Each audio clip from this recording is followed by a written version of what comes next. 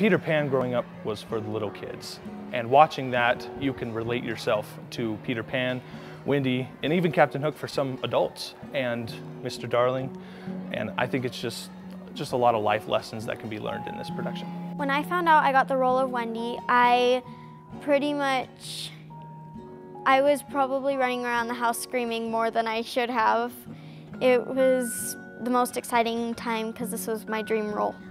I think the audience will be really impressed. This show is awesome.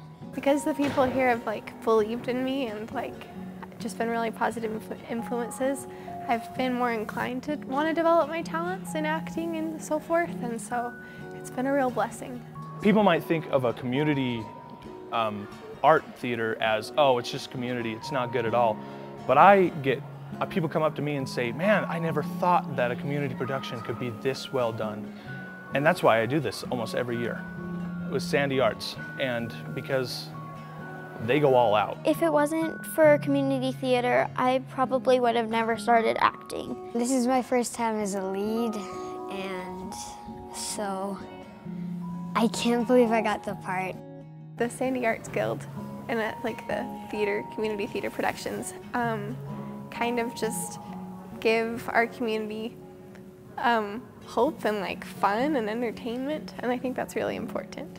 Different productions that they do, you could have a different character, and you have to re reach deep down to find how that character acts, which then taps into your brain a new way to interact with people.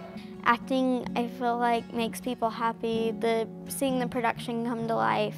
I wouldn't get very far in acting if it weren't for Sandy Arts Guild. I think that people will come here and be pleasantly surprised because it's a really fun production and um, we're all just really happy. so I'm just really grateful to be here.